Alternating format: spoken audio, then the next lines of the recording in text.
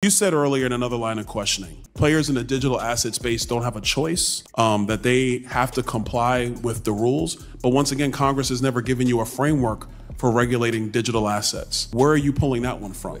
With all respect, sir, we disagree on this.